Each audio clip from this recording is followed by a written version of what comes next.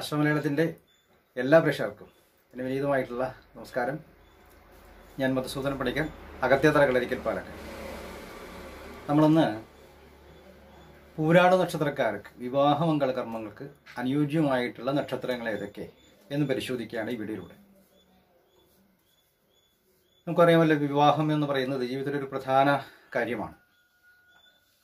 ഒരു വ്യക്തിയുടെ ജനനശേഷം ആ വ്യക്തിക്ക് ഉണ്ടാവുന്ന ആയുസ് ആരോഗ്യം അതുപോലെ തന്നെ വിദ്യാഭ്യാസം ജോലി മറ്റു ജീവിതത്തിൽ ഉണ്ടാകുന്നതായിട്ടുള്ള ഗുണങ്ങൾ എല്ലാം പോലെ തന്നെ ഏറ്റവും പ്രധാനമായിട്ടുള്ള ഒരു കാര്യമാണ് വിവാഹം. വിവാഹപ്രായമാകുമ്പോൾ പൊതുവെ മാതാപിതാക്കൾക്ക് ഒരു ആകുലതകൾ ഉണ്ടാവാറുണ്ട്. എങ്ങനെയൊക്കെ ആയിരിക്കണം എന്നുള്ളതിനെക്കുറിച്ച് അവർ മറ്റു കാര്യങ്ങൾ അന്വേഷിക്കുന്ന പോലെ തന്നെ തീർച്ചയായിട്ടും വിവാഹ കാര്യങ്ങളെക്കുറിച്ചും അന്വേഷിക്കാറുണ്ട്.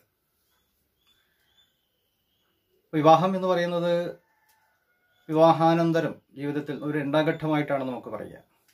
രണ്ട് തരത്തിൽ ജീവിച്ചതായിട്ട് വ്യക്തികൾ രണ്ട് സാഹചര്യങ്ങൾ അവരുടെ വിദ്യാഭ്യാസം അതുപോലെ തന്നെ അവരുടെ സംസ്കാരം എല്ലാം വ്യത്യസ്തമായിട്ടുള്ള സാഹചര്യങ്ങളിൽ നിന്നും ഒന്നിച്ചു ചേരുമ്പോൾ അവർക്ക് ജീവിതത്തിൽ എന്തൊക്കെ നല്ല കാര്യങ്ങൾ നമുക്ക് ഒരുക്കി കൊടുക്കാൻ സാധിക്കും.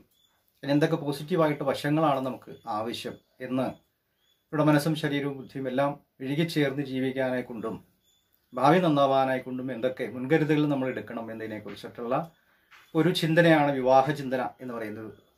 അതൊരു പ്രത്യേക സബ്ജക്റ്റായിട്ട് തന്നെ ജ്യോതിശാസ്ത്രം പറയുന്നുണ്ട്. അപ്പോൾ പൊതുവേ ഇപ്പോൾ വിവാഹ പ്രായമാകുമ്പോൾ നമ്മൾ ജാതകം പരിശോധിച്ച് നോക്കിയാൽ അറിയാം ഏതാണ് വിവാഹ സമയം എന്നുള്ളത്. അതുപോലെ തന്നെ ജാതകം ശുദ്ധജാതകമാണോ ദോഷജാതകമാണോ എന്നൊക്കെ നമ്മൾ പരിശോധിക്കാറുണ്ട്. പൊതുവെ പുരുഷ ജാതക ജാതകപ്രകാരം. ആൺകുട്ടികളുടെ ജാതകപ്രകാരമാണെങ്കിൽ ലഗ്നാലും ചന്ദ്രാലും ഏഴും ശുക്രാലും ശുക്രന് പാപമധ്യസ്ഥിതി ചതുരശ ദോഷം മുതലായിട്ടുള്ള കാര്യങ്ങളാണ് വിശ നമുക്ക് വിശദീ നോക്കുക. സ്ത്രീജാതക പ്രകാരം ലഗ്നാൽ ഏഴും എട്ടും രാശികളാണ് നമ്മൾ പിന്നെ വിവാഹ ചിന്തനയ്ക്കായിട്ട് എടുക്കുക. അപ്പോൾ ഏഴും എട്ടും രാശികളൊക്കെ ശുദ്ധമായിട്ട് നിൽക്കുന്ന സ്ത്രീജാതകമാണെങ്കിൽ അത് ശുദ്ധജാതകമായിട്ടും ഏഴിലും എട്ടിലും പാപഗ്രഹങ്ങൾ പാപബന്ധം ഒരു പാപജാതകമായിട്ടും ദോഷജാതകമായിട്ടും നമ്മൾ പറയും. അപ്പോൾ ശുദ്ധജാതകത്തിന് ശുദ്ധജാതകം തന്നെ ചേർക്കുന്നതാണ് ഏറ്റവും നല്ലത്. പാപജാതകങ്ങൾക്ക് പാപജാതകങ്ങൾ തന്നെ ചേർക്കുന്നതാണ് നല്ലത്. അതുപോലെ തന്നെ ഏതൊക്കെ നക്ഷത്രങ്ങളാണ് നമുക്ക് അനുയോജ്യമായിട്ട് വരിക? ഇപ്പോൾ വരൻ ഏത് ദിക്കുന്ന് വരും വധു ഏത് ദിക്കുന്ന് വരും എന്നൊക്കെ നമുക്ക് ജാതകം പരിശോധിച്ചാൽ മനസ്സിലാക്കാൻ സാധിക്കും. അപ്പോൾ അതാത് കാലത്ത് വിവാഹ മംഗളകർമ്മങ്ങൾക്ക് തയ്യാറാവുക എന്നുള്ളതാണ് ഏറ്റവും ഒരു പ്രധാന ഘടകം. ജോലി വിദ്യാഭ്യാസം മുതലായിട്ട് കാര്യങ്ങളൊക്കെ ആയിട്ട് നമ്മൾ മാറ്റിവെക്കുന്ന സാഹചര്യങ്ങളൊക്കെ ആ യോഗങ്ങൾ അതാത് കാലത്തുള്ള യോഗങ്ങൾ നഷ്ടപ്പെടാൻ കാരണമാവും. ആ യോഗം നടക്കുന്നത് അത് നല്ല രീതിയിലാവാൻ സാധ്യതയുണ്ട്. മറ്റേത് ഒരു അസമയത്താവും. ജോലി വിദ്യാഭ്യാസമൊക്കെ ആയിട്ട് മതി അല്ലെങ്കിൽ കുറെ സമ്പാദിച്ചിട്ടൊക്കെ മതി എന്ന് പറയുമ്പോൾ അത് ഒരു അസമയത്താവും. നമ്മുടെ പരിശ്രമങ്ങളെ കൊണ്ടായിരിക്കും ആ കാര്യങ്ങളൊക്കെ നടക്കുക. അതിനൊരു രണ്ടാം സ്ഥാനമായിട്ടാണ് പറയുന്നത്. യോഗം എപ്പോഴാണോ ആദ്യത്തെ യോഗം എപ്പോഴാണോ ഒരു ചെറുപ്രായത്തിൽ നല്ലൊരു പ്രായത്തിൽ തന്നെ വിവാഹത്തിനായിട്ട് തയ്യാറാവുക എന്നുള്ളതാണ് അതിന് ഏറ്റവും അനുയോജ്യമായിട്ടുള്ള ഒരു ഘടകം. ഈ പുരാണ നക്ഷത്രം എന്ന് പറയുമ്പോൾ മനുഷ്യഗണമാണല്ലോ. ധനുക്കൂറിലാണ് നിൽക്കുന്നത്. ജനസമയത്തെങ്കിൽ പുരാണത്തിന് പാദദോഷങ്ങളൊക്കെ ഉണ്ടെങ്കിലും അത് ചെറുപ്പകാലത്ത് തന്നെ അത് കഴിഞ്ഞു പോയി. പിന്നീട് അതൊന്നും ആർക്കും ബാധിക്കാറില്ല. ഇനി നക്ഷത്രത്തിന്റെ ബലാബലം അനുസരിച്ചിട്ട് വെളുത്ത പക്ഷത്തിലും കറുത്ത പക്ഷത്തിലും ഉള്ള നക്ഷത്രങ്ങളെ നമ്മൾ വേർതിരിക്കാറുണ്ട്. അതിലും ചന്ദ്രബലം തീരെ കുറയുമ്പോൾ അത് ചില ദോഷങ്ങൾ ഉണ്ടാവും ചന്ദ്രബലം കൂടുതലുണ്ടാകുമ്പോൾ അത് ഏറ്റവും നല്ല ഫലങ്ങൾക്ക് കാരണമാവും എന്ന് പറയും. അപ്പോൾ ഈ ശുക്ലപക്ഷത്തിൽ ജനിച്ച പൂരാടം വെളുത്ത പക്ഷത്തിൽ ജനിച്ച പൂരാടം നക്ഷത്രക്കാർക്ക് വെള്ളിപ്പൂരാടം എന്നൊക്കെ പേരുണ്ട് അതുപോലെ തന്നെ ഈ കറുത്തപക്ഷത്തിൽ സിദ്ധപക്ഷം എന്ന് പറയുമ്പോൾ അഷ്ടമി കഴിഞ്ഞ് കൃഷ്ണാഷ്ടമി കറുത്തപക്ഷത്തിൽ സപ്തമി കഴിഞ്ഞ് അഷ്ടമി മുതൽക്ക് വരുന്ന അമാവാസി വരെ വരുന്നതായിട്ടുള്ള ദിവസങ്ങളാണ് നമ്മൾ പിന്നെ അസിതപക്ഷം എന്ന് പറയുക. അപ്പം അതിൽ ജനിക്കുമ്പോൾ ഈ കരിമ്പൂരാടം എന്നൊക്കെ നമുക്ക് പുരാടക്കാരെ പറയാറുണ്ട്. അപ്പോൾ അത് അതിന്റെ ബലാബലം അനുസരിച്ചിട്ടാണ് ആ ഫലങ്ങളൊക്കെ നമ്മൾ ചിന്തിക്കുക. അപ്പോൾ പക്ഷഫലം വലിയ പ്രാധാന്യമുണ്ട്. ഈ വിവാഹ കാര്യങ്ങളെക്കുറിച്ച് അതുപോലെ തന്നെ ഈ നമ്മൾ ചിന്തിക്കുമ്പോൾ ഒരു നാല് പ്രധാന വിഷയങ്ങൾ നമ്മൾ ജ്യോതിഷപ്രകാരം സൂചിപ്പിക്കുന്നുണ്ട്. അതായത് ആദ്യം തന്നെ നമ്മൾ നക്ഷത്രങ്ങളെല്ലാം ചേരുമോ എന്ന് നമ്മൾ പരിശോധിക്കേണ്ടതുണ്ട്. ചേരുന്ന നക്ഷത്രങ്ങൾ ഏതൊക്കെ എന്നാണ് ആദ്യം നമ്മൾ പരിശോധിക്കുക. രണ്ടാമത് പരസ്പരം ദോഷസാമ്യങ്ങൾ അനുകൂലമാണോ എന്ന് ചിന്തിക്കേണ്ടതാണ്. നേരത്തെ പറഞ്ഞ പോലെ ശുദ്ധജാതകമാണെങ്കിൽ ശുദ്ധജാതകം ദോഷജാതകമാണെങ്കിൽ ദോഷജാതകം ചേർത്ത് ദോഷസാമ്യം ഉണ്ടാക്കേണ്ടതാണ്. ഗ്രഹസാമ്യത നമ്മൾ ഉണ്ടാക്കേണ്ടതാണ്. മൂന്നാമതായി പറയുന്നത് ദിശാസന്ധി ദോഷം വരാൻ പാടില്ല. കൂട്ടുദിശ എന്നൊക്കെ പറയുള്ളൂ. അത് നമുക്കൊരിക്കലും വരാൻ പാടില്ല. നാലാമതായി എത്ര പൊരുത്തങ്ങളുണ്ട് എന്ന് നമ്മൾ കണക്കാക്കിയിട്ടിരിക്കും. ഈ നാല് ഭാഗങ്ങളും പ്രായണ നമുക്ക് അനുകൂലമായിട്ട് വരുമ്പോഴാണ് ഒരു വിവാഹ ചേർച്ച പൂർണമാവുക എന്ന് നമ്മൾ പറയുക. ഒരു അറുപത് ശതമാനത്തോളം എല്ലാ ഭാഗവും ക്ലിയർ ആയിട്ട് വരുമ്പോൾ നമ്മൾ ആ കാര്യങ്ങളെല്ലാം സ്വീകരിക്കാറുണ്ട്. അപ്പോൾ ഇതിൽ തന്നെ നമുക്ക് ഈ നക്ഷത്രങ്ങളെ നമ്മൾ ആദ്യം പരിശോധിക്കുമ്പോൾ തന്നെ ഈ ദേവഗണം അതുപോലെ തന്നെ മനുഷ്യഗണം അസുരഗണം എന്നീ മൂന്ന് ഗണങ്ങളായി തിരിച്ചിട്ടുണ്ട് ഇരുപത്തിയേഴ് നക്ഷത്രങ്ങൾ. ഒമ്പത് നക്ഷത്രങ്ങൾ ദേവഗണവും ഒമ്പത് നക്ഷത്രം മനുഷ്യഗണവും ഒമ്പത് നക്ഷത്രം അസുരഗണവുമായിട്ടും തിരിച്ചിട്ടുണ്ട്. ഈ പൂരാട നക്ഷത്രം എന്നുള്ളത് മനുഷ്യഗണത്തിലാണ് വിടുക അതുകൊണ്ട് തന്നെ ഈ പൂരാടത്തിന് ദേവഗണത്തിലേക്കോ മനുഷ്യഗണത്തിലേക്കോ അസുരഗണത്തിലേക്കോ ചേർക്കാം എന്നുള്ളത് ശാസ്ത്രം വ്യക്തമായിട്ട് പറയുന്നുണ്ട്. അതുകൊണ്ട് ഗണത്തിനെ ഇന്ന ഗണമായി ചേർക്കാൻ പാടുള്ളൂ എന്നുള്ളതായിട്ടുള്ള വിഷയം പുരാണക്കാരിക്കില്ല. കാരണം മനുഷ്യഗണം എല്ലാ ഗണത്തോടും ചേരുന്നൊരു ഗണമായതുകൊണ്ട് തീർച്ചയായിട്ടും അതങ്ങനെ സ്വീകരിക്കാം എന്ന് തന്നെയാണ് ശാസ്ത്രങ്ങൾ സൂചിപ്പിക്കുന്നത്. അതുപോലെ തന്നെ ഈ പുരാട നക്ഷത്രം എന്ന് പറയുമ്പോൾ ഇതിന് നമുക്ക് ആ ജനിച്ച കൂറിന്റെ ഒന്ന് നാല് അതുപോലെ തന്നെ ഏഴ് എട്ട് ഒമ്പത് പത്ത് പതിനൊന്ന് കൂറുകളിലുള്ളതായിട്ടുള്ള വരനുമായിട്ട് വിവാഹമംഗളക്രമങ്ങൾ നടത്തുന്നത് നടത്തുന്നുള്ളതാണ് നമ്മൾ പൊതുവേ ഈ ജ്യോതിശാസ്ത്രത്തിൽ വിവാഹകാര്യം ചിന്തിക്കുന്നത് സ്ത്രീ നക്ഷത്രം മുതൽക്കാണ്. പെൺകുട്ടിയുടെ നക്ഷത്രം മുതൽക്കാണ് നമ്മൾ ചിന്തിക്കുക. ആൺകുട്ടിയുടെ പൊരുത്തങ്ങൾ നമ്മൾ അങ്ങനെ ആ വഴിക്ക് വരാറില്ല. സ്ത്രീ നാളെ തുടങ്ങി. സ്ത്രീ നക്ഷത്രം മുതൽ പുരുഷ നക്ഷത്രം വരെ എണ്ണി കിട്ടുന്ന കാര്യങ്ങളെയാണ് നമ്മൾ നാളെ ദീർഘങ്ങളും പൊരുത്തങ്ങളും ഒക്കെ നമ്മൾ വിലയിരുത്തുക. അതുകൊണ്ടാണ് സ്ത്രീ പ്രാധാന്യം വരുന്നത്.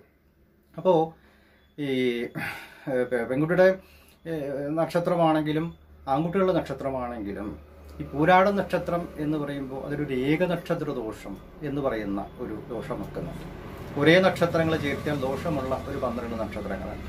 അതിൽ പൂരാടം വീട്. അതുകൊണ്ട് പൂരാട നക്ഷത്രം നമുക്ക് ഒഴിവാക്കേണ്ടതുണ്ട്. പൂരാടത്തിന് പൂരാടം തന്നെ ഒഴിവാക്കേണ്ടതുണ്ട്. ബാക്കിയുള്ള നക്ഷത്രങ്ങൾ നമ്മൾ നോക്കുമ്പോൾ മൂന്ന് അഞ്ച് ഏഴ് നക്ഷത്രങ്ങൾ നമ്മൾ ഒഴിവാക്കണം. അതുപോലെ തന്നെ ഒരു നക്ഷത്രത്തിന്റെ ഒരു വേദ നക്ഷത്രമുണ്ട് അതും നമ്മൾ ഒഴിവാക്കണം. മൂന്നാമത്തെ നക്ഷത്രം എന്ന് പറയുമ്പോൾ തിരുവോണ നക്ഷത്രമാണ്. അഞ്ചാമത്തെ നക്ഷത്രം എന്ന് പറയുമ്പോൾ ചതയം നക്ഷത്രമാണ്. ഏഴാമത്തെ നക്ഷത്രം എന്ന് പറയുന്നത് ഉത്രട്ടാതിയാണ്. അതുപോലെ തന്നെ പൂയത്തിന്റെ വേദ നക്ഷത്രം എന്ന് പറയുമ്പോൾ പൂരാട പൂരാ പൂരാടത്തിന് പൂയമാണ് വേദ നക്ഷത്രം. പൂയത്തിന്റെ പൂരാടം തന്നെയാണ് വേദ നക്ഷത്രം. അപ്പോൾ ഇത്തരം നക്ഷത്രങ്ങൾ നമ്മൾ ആദ്യം തന്നെ പരിശോധിക്കേണ്ടതുണ്ട്.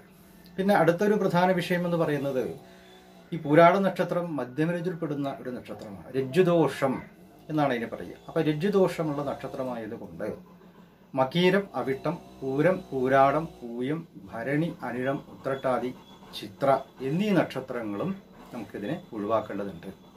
കാരണം അഹ് മധ്യമരജ്ജു വേദം ഏകനക്ഷത്ര ദോഷം ഈ മൂന്ന് കാര്യങ്ങൾ ചേർക്കുന്ന ശുഭമല്ല എന്ന് ശാസ്ത്രങ്ങൾ കൃത്യമായിട്ട് പറയുന്നുണ്ട്. ഏകോപി ദോഷു വേദാക്യു ഗുണാഹന്തി ബഹുനവി തസ്മാതി വജ്വേദ്യേതം മധ്യമരജ്ജിത്ത സത്സമഹ അങ്ങനെ പറയുന്നുണ്ട്. അപ്പോൾ ഏകനക്ഷത്ര ദോഷം മധ്യമരജ്ജു ദോഷം അതുപോലെ തന്നെ വേദനക്ഷത്രം ഇതൊക്കെ ചേർക്കുമ്പോൾ അവരുടെ ജീവിതത്തിൽ ഒരുപാട് ഗുണങ്ങൾ നഷ്ടപ്പെടുമെന്നാണ് പറയുന്നത്. പോസിറ്റീവായിട്ടുള്ള ഒരുപാട് വശങ്ങൾ നഷ്ടപ്പെടാൻ സാധ്യതയുണ്ട്. അതുകൊണ്ട് അത് അത്തരം നക്ഷത്രങ്ങൾ ജീവിത ചേർക്കുന്നത് ശുഭകരമല്ല എന്ന് ശാസ്ത്രം പ്രത്യേകിച്ച് പറയുന്നു. അതുപോലെ തന്നെ ഈ പിന്നെ അപ്പം അങ്ങനെയുള്ള നക്ഷത്രങ്ങളൊക്കെ നമ്മൾ ഒഴിവാക്കി ശ്രദ്ധിക്കുക. അപ്പം ഇതിൽ നമുക്ക് പ്രധാനമായിട്ടും പുരാളക്കാർക്ക് ഉത്തമ നക്ഷത്രങ്ങൾ ഏതൊക്കെ? മധ്യമ നക്ഷത്രങ്ങൾ ഏതൊക്കെ? അഥമ നക്ഷത്രങ്ങൾ ഏതൊക്കെ എന്ന് നമ്മൾ ചിന്തിക്കുകയാണ്. ഏറ്റവും ഉത്തമ നക്ഷത്രം എന്ന് പറയുമ്പോൾ ഒരു ആറ് മുതൽ പത്ത് വരെ പൊരുത്തം കിട്ടുന്ന നക്ഷത്രങ്ങളാണ് ഉത്തമ നക്ഷത്രങ്ങൾ എന്ന് പറയുക. മധ്യമ നക്ഷത്രം എന്ന് പറയുമ്പോൾ ഒരു നാല് മുതൽ അഞ്ച് വരെയുള്ള പൊരുത്തങ്ങളൊക്കെ കിട്ടുന്ന നക്ഷത്രങ്ങൾ മധ്യമ നക്ഷത്രം എന്ന് പറയും. അതുപോലെ തന്നെ തീരെ നമ്മൾ ചേരാത്ത നക്ഷത്രങ്ങളൊക്കെയാണ് നേരത്തെ പറഞ്ഞ മധ്യമരിജു മൂന്നാൾ അഞ്ചാം നാൾ ഏഴ് നാൾ വേദ നക്ഷത്രം പൊരുത്തം കുറയുന്ന നക്ഷത്രങ്ങളൊക്കെ. അപ്പോൾ ഈ ഒരു മൂന്ന് ഗണത്തിൽ നമ്മൾ അതിനെ തരംതിരിച്ചു കഴിഞ്ഞാൽ ഏറ്റവും ഉത്തമമായിട്ടുള്ള നക്ഷത്രം എന്ന് പറയുന്നത് പുരാണക്കാർക്ക് വളരെ ഉത്തമമായിട്ടുള്ള നക്ഷത്രം ഒരു ആറ് പൊരുത്തം ഏഴ് പൊരുത്തത്തിന്റെയൊക്കെ മുകളിൽ കിട്ടുന്നത് ഉത്രം അതുപോലെ വിശാഖം രണ്ട് നക്ഷത്രമാണ്. മധ്യമ നക്ഷത്രങ്ങൾ എന്ന് പറയുന്നത് ഒരു രോഹിണി തിരുവാതിര പുണർദം ആയില്യം മകം അത്തം ചിത്തര ചൂതി അതുപോലെ തന്നെ തൃക്കേട്ട മൂലം ഉത്രാടം പൂരൂരുട്ടാതി രേവതി എന്നീ നക്ഷത്രങ്ങൾ നമ്മൾ സ്വീകരിക്കാവുന്നതായിട്ട് മധ്യമം സ്വീകരിക്കാവുന്നതായിട്ട് കാണുന്നുണ്ട്. അഥമ നക്ഷത്രം നേരത്തെ പറഞ്ഞ പോലെ തീരെ പൊരുത്തങ്ങൾ കുറയുന്ന അശ്വതി കാർത്തിക തിരുവോണം ചതയം ഉത്രട്ടാതി ഇങ്ങനെയുള്ള നക്ഷത്രങ്ങൾ മധ്യമരജു വേദം ഇതൊക്കെ നമ്മൾ ഒഴിവാക്കേണ്ടതുണ്ട്. അപ്പം ഇത്തരം കാര്യങ്ങളൊക്കെ നമ്മൾ ശ്രദ്ധിച്ച് വിവാഹ കാര്യങ്ങളെല്ലാം ചെയ്യുന്ന പക്ഷം അത് വളരെയധികം നല്ല ഒരു ദാമ്പത്യ ജീവിതത്തിനും നല്ല ഒരു മാനസികമായിട്ടുള്ള ഐക്യത്തിനും പൊരുത്തത്തിനും അതുപോലെ തന്നെ നല്ല സന്താനപ്രാപ്തിക്കും ജീവിതത്തിലെ എല്ലാ അഭിവൃദ്ധിക്കും യോഗമുണ്ടാവുമെന്ന് കാണുന്നുണ്ട്. അപ്പോൾ ഇത്തരം കാര്യങ്ങളൊന്നും ഒരു നമുക്ക് ആ ധനുരാശിക്കാർക്കൊരു പ്രത്യേകിച്ച് പൂരാടക്കാർക്ക് ഒരു നമുക്കൊരു ഔട്ട്ലൈന് കിട്ടാൻ വേണ്ടിയിട്ടാണ് ഈ കാര്യങ്ങൾ തയ്യാറാക്കുന്നത്. എങ്കിലും അതാത് കാലത്ത് നമ്മൾ ജാതകം കൂടി പരിശോധിച്ചാൽ മാത്രമാണ് നമുക്ക് കൂട്ടുദശ ദോഷ സാമ്യതൊക്കെ നമുക്ക് അറിയാൻ സാധിക്കുള്ളൂ. അതുകൂടിയൊക്കെ നമ്മൾ പരിശോധിക്കണം വിവാഹ സമയങ്ങളൊക്കെ അറിഞ്ഞു വെക്കണം. പ്രത്യേകിച്ച് നമുക്ക് ഈ വിവാഹ കാര്യങ്ങൾക്ക് പലരും പറയാറുണ്ട് പല പ്രതിബന്ധങ്ങളും ഒരുപാട് കാലങ്ങളായി വിവാഹത്തിന് ശ്രമിച്ചിട്ട് നടക്കുന്നില്ല എന്നൊക്കെ പറയും പലരും പറയാറുണ്ട്. അപ്പോൾ അതിന്റെ പ്രധാന കാരണം ഇതാണ് മധ്യമരജി മുതലായിട്ട് നക്ഷത്രങ്ങൾ. പിന്നെ സമയം നമുക്ക് ഘടകമാണല്ലോ. വിവാഹ സമയം മറിഞ്ഞപ്പോൾ പ്രായമായാലും അത് ചിലപ്പോൾ വിവാഹ വിവാഹത്തിന് യോഗമുള്ള സമയമായ ആവണമെന്നില്ല. അപ്പോൾ അതിന്റെ സമയം നമ്മൾ കണ്ടെത്തേണ്ടിയിരിക്കുന്നു. ഒരു അസമയത്ത് പുറപ്പെട്ടാലും അത് നടക്കില്ല. വളരെ വൈകി പുറപ്പെട്ടാലും അത് നടക്കില്ല. അപ്പോൾ അത് നമ്മൾ മനസ്സിലാക്കിയിരിക്കണം വിവാഹയോഗം വരുമ്പോഴാണ് തീർച്ചയായിട്ടും നടക്കുക. അല്ലെങ്കിൽ ഒരു സന്താനം ജനിക്കേണ്ട സമയങ്ങളാകുമ്പോഴാണ് വിവാഹം നടക്കുക. ഈ രണ്ട് യോഗങ്ങൾ പ്രധാനമായിട്ടും നമ്മൾ വിലയിരുത്തേണ്ടതുണ്ട്. അത് ജാതകം പരിശോധിച്ചാലാണ് നമുക്കത് വ്യക്തമായിട്ട് മനസ്സിലാകുക അപ്പം അത്തരം കാര്യങ്ങളെല്ലാം നമ്മൾ ശ്രദ്ധിച്ച് ജാതകം പരിശോധിച്ച് മുന്നോട്ട് പോവുക. അപ്പോൾ ഈ അതുപോലെ തന്നെ ഈ പാപജാതകം ഒക്കെ പറയുമ്പോൾ ദോഷങ്ങളൊക്കെ ഉള്ള ജാതകം. സ്ത്രീ ജാതകമാണെങ്കിൽ അവിടെ പാപഗ്രഹങ്ങൾ ഏഴിലും എട്ടിലും നിന്നാൽ അത് ദോഷം ആയിട്ട് ചെയ്യും. അപ്പം അത്തരം ദോഷജാതകങ്ങൾ പുരുഷ ജാതകങ്ങളാണെങ്കിലും അങ്ങനെ വരാം. ആൺകുട്ടികളുടെ ജാതകങ്ങളാണെങ്കിലും അങ്ങനെ വരാം. അപ്പോൾ ദോഷജാതകങ്ങളിൽ ആ ഏത് ഗ്രഹമാണോ ഏഴാം സ്ഥാനത്ത് വന്ന് നിൽക്കുന്നത് പാപഗ്രഹമായിട്ട് നിൽക്കുന്നത് അതിന് പറഞ്ഞിട്ടുള്ള പ്രാർത്ഥനകളോ വഴിപാടുകളോ ഒക്കെ ചെയ്ത് ആ ഗ്രഹശാന്തിക്കുള്ള പരിഹാരങ്ങൾ കൂടി ചെയ്യുന്നത് ഏറ്റവും നല്ലതാണ്. അതെല്ലാം നമുക്ക് വ്രതങ്ങളെന്നുള്ള നമ്മുടെ തന്നെ ചാനലിലെ പ്ലേസ് കഴിഞ്ഞ വ്രതങ്ങൾ എന്ന് പറയുന്നതായിട്ട് വീഡിയോയിൽ കാണാൻ സാധിക്കും. അപ്പോൾ ഈ വിവാഹ കാര്യങ്ങൾക്ക് ഏറ്റവും നല്ല ഒരു സ്ത്രീകൾ ആചരിക്കേണ്ട ഒരു പ്രധാന പിന്നെ വ്രതങ്ങളുണ്ടല്ലോ എന്തൊക്കെ ചെയ്യണം എന്ന് നമ്മൾ പരിശോധിക്കുമ്പോൾ. പിന്നെ സോമവാര വ്രതം. അത് ശ്രേഷ്ഠമായിട്ടൊരു വ്രതമായിട്ടാണ് പറയുക. തിങ്കളാഴ്ച ദിവസം വ്രതമെടുത്ത് ശിവനെ ആരാധിക്കുക. അപ്പം അത് ഏറ്റവും നല്ല ശ്രേഷ്ഠമായിട്ടൊരു വ്രതമായിട്ടാണ് കരുതുന്നത്. പാർവതി ദേവി നോറ്റ വ്രതമായിട്ടാണ്. ഭഗവാൻ തന്നെ പതിയായിട്ട് വരണം ഭർത്താവായിട്ട് വരണം എന്ന് അനേകം വർഷങ്ങൾ അനേകം ജന്മങ്ങളിൽ തപസ് ചെയ്തു എന്നാണ് പറയുന്നത്. അപ്പം അതിനുശേഷം ഭഗവാൻ തന്നെ അത് വരണായിട്ട് വന്ന് പിന്നെ വിവാഹം കഴിഞ്ഞു എന്നുള്ളതാണ് സങ്കല്പം. ശാസ്ത്രങ്ങൾ നമ്മുടെ പുരാണങ്ങളൊക്കെ സൂചിപ്പിക്കുന്നത്. അപ്പം ആ പാർവതി ദേവി നോറ്റ വ്രതമായിട്ട് ഉള്ള സോമവാര വ്രതം അനുഷ്ഠിക്കുന്നത് നമ്മുടെ മംഗല്യദോഷങ്ങളും ദുരിതങ്ങളും ഉജ്ജന്മ കർമ്മദോഷങ്ങൾക്കൊക്കെ ഒരു പരിഹാരമാവാനും നല്ല രീതിയിലുള്ള ഭഗവാന് തുല്യനായിട്ടുള്ള ഒരു നല്ല വരൻ വന്നു ചേരാനും അതിന് യോഗം ഉണ്ടാവുമെന്ന് സൂചിപ്പിക്കുന്നു. അപ്പം അത്തരം വ്രതങ്ങൾ അനുഷ്ഠിക്കാം. അതുപോലെ തന്നെ ഉമാമഹേശ്വര സങ്കല്പങ്ങളെ ധ്യാനിക്കാം. ശിവനും പാർവതിയും കൂടിയുള്ളതായിട്ടുള്ള ദമ്പതി സമേതന്മാരായിട്ട് ദേവതകളെ ആരാധിക്കാം. ലക്ഷ്മി നാരായണ സങ്കല്പങ്ങളെ ആരാധിക്കാം. അതൊക്കെ നമുക്ക് വിവാഹത്തിന് അനുയോജ്യമാണ്. അതുപോലെ തന്നെ വെള്ളിയാഴ്ചകൾക്ക് പ്രാധാന്യമെടുത്തുകൊണ്ട് ദേവീക്ഷേത്രത്തിൽ സ്വയംവരാർച്ചന മുതലായിട്ട് കാര്യങ്ങളൊക്കെ നടത്തുന്നത് നല്ലതാണ്. മാസത്തിൽ ഒരു തവണ മുപ്പെട്ട് വെള്ളിയാഴ്ച എന്ന് പറയുമ്പോൾ എല്ലാ മലയാള മാസത്തിലെയും ആദ്യത്തെ വെള്ളിയാഴ്ചകളിൽ ഈ പറഞ്ഞ ദമ്പതി ക്ഷേത്രങ്ങൾ ഉമാ മഹേശ്വര പൂജയോ ലക്ഷ്മി നാരായണ പൂജയൊക്കെ മാസാന്തരം ചെയ്തു പോകുന്നത് ഏറ്റവും നല്ലതായിട്ടും കരുതപ്പെടുന്നുണ്ട്. അത്തരം കാര്യങ്ങളൊക്കെ ചെയ്യുക അതിന് തുല്യമായിട്ടാണ് നാഗപ്രീതി എന്ന് പറയുന്നതായിട്ടൊരു കാര്യം നമ്മൾ ചെയ്യണം നാഗങ്ങളെ നല്ലവണ്ണം ആരാധിക്കണം. അത് പ്രത്യേകിച്ച് കേരളത്തിൽ അത് അത്യാവശ്യമായിട്ടുള്ള കാര്യങ്ങളാണ്. പ്രത്യേകിച്ച് സ്ത്രീകളിലെ ശരീരവും മനസ്സൊക്കെ ഒന്ന് തെളിയാനും ആരോഗ്യസ്ഥിതി നല്ല രീതിയിലാവാനും നല്ല സന്തതികൾ ജനിക്കാനും വളരെയധികം സപ്പോർട്ടീവായിട്ട് വരുമെന്ന് പറയുന്നുണ്ട്. അതുകൊണ്ട് തീർച്ചയായിട്ടും അവരവർ അടുത്തുള്ള നാരക്ഷേത്ര ദർശനങ്ങൾ നടത്തി എല്ലാ ഐല്യം നാൾക്കും നൂറും പാലം നടത്തി പ്രാർത്ഥിക്കുന്നതും ഏറ്റവും ശ്രേഷ്ഠമായിട്ട് കരുതപ്പെടുന്നു. ദോഷങ്ങളൊക്കെ തീരാൻ അത് വളരെയധികം സഹായിക്കും.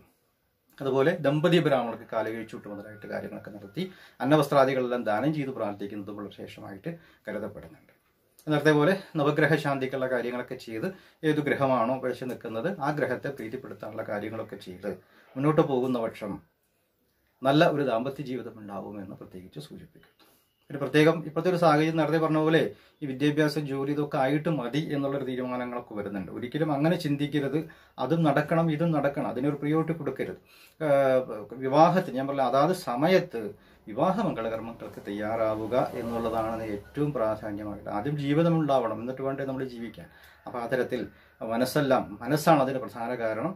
അതുകൊണ്ട് മനസ്സ് ഉണ്ടാക്കിയെടുക്കുക എന്നുള്ളതാണ് ഏറ്റവും പിന്നെ നമ്മൾ ആദ്യപടിയായിട്ട് നമ്മൾ ചെയ്യേണ്ട ഒരു കാര്യം അപ്പം അത്തരം കാര്യങ്ങളൊക്കെ നമ്മൾ ശ്രദ്ധിച്ച് മുന്നോട്ട് പോകുന്ന പക്ഷം ഒരു നല്ല ദാമ്പത്യ ജീവിതം ഉണ്ടാവാനും സൽസന്തതി പരമ്പര ഉണ്ടാവാനും എല്ലാ ഐശ്വര്യങ്ങളും ജീവിതത്തിൽ ഉണ്ടാകുമെന്ന് നമ്മൾ വിവാഹചിന്തനം എന്ന് പറയുന്നതായിട്ടുള്ള സബ്ജക്റ്റോടെ മനസ്സിലാക്കാൻ സാധിക്കും. അപ്പോൾ എല്ലാ പോരാട്ടക്കാർക്കും ഈ ഒരു വീഡിയോ ഉപകാരപ്പെടുമെന്ന് വിചാരിക്കുന്നു. ഇഷ്ടപ്പെട്ട ലൈക്ക് ഷെയർ ചെയ്യുക. ഇതിനു മുമ്പ് നമ്മൾ ചെയ്തിട്ടുള്ള ചെയ്തിട്ട് എല്ലാ വീഡിയോസും കാണാൻ ശ്രമിക്കുക. ചാനൽ മെയിൻ പേജിൽ കയറി പ്ലേസ് സെർച്ച് ചെയ്യുന്ന പക്ഷം എല്ലാ വീഡിയോസും കാണാൻ നമുക്ക് സാധിക്കും. അപ്പോൾ അതൊക്കെ കണ്ടു മനസ്സിലാക്കുക. ചെറിയ ചെറിയ സംശയങ്ങളൊക്കെ വീഡിയോയുടെ താഴെ കമന്റ് ചെയ്യുന്ന പക്ഷം തീർച്ചയായിട്ടും മറുപടി കൊടുത്തുകൊണ്ടിരിക്കുന്നുണ്ട് വലിയ വിശദമായിട്ട് കാര്യങ്ങളൊന്നും നമുക്ക് കമന്റ് ബോക്സിൽ മറുപടി കൊടുക്കാൻ സാധ്യമല്ല. അതിന് ആവശ്യമുള്ളവർക്ക് നേരിട്ടോ അല്ലെങ്കിൽ അല്ലാതെ ഓൺലൈൻ കൺസൾട്ടേഷൻ മുഖാന്തരമോ നമുക്ക് ആ കാര്യങ്ങളൊക്കെ പ്രയോജനപ്പെടുത്തി മനസ്സിലാക്കാവുന്നതാണ്. അത് ആവശ്യമുള്ളതൊക്കെ പ്രയോജനപ്പെടുത്തുക. മാക്സിമം വീഡിയോ എല്ലാം കാണാതെ കാലത്ത് കാണാൻ ശ്രമിക്കുക. സബ്സ്ക്രൈബ് ചെയ്യാത്തവർ പ്രത്യേകം സബ്സ്ക്രൈബ് ചെയ്യുക. ബെല്ലൈക്കനും കൂടി എനേബിൾ ചെയ്ത് വെക്കുക. അപ്പോൾ എല്ലാ ഐശ്വര്യങ്ങളും ഉണ്ടാവട്ടെ എന്നും ഭഗവാന്റെ അനുഗ്രഹം ഉണ്ടാവട്ടെ എന്നും പ്രാർത്ഥിച്ചുകൊണ്ട് ഒരു അടുത്ത ഒരു നല്ല വീഡിയോയുമായിട്ട് വീണ്ടും കാണുമ്പോഴേക്കും എല്ലാവർക്കും എന്റെ വിനീതമായിട്ടുള്ള നമസ്കാരം.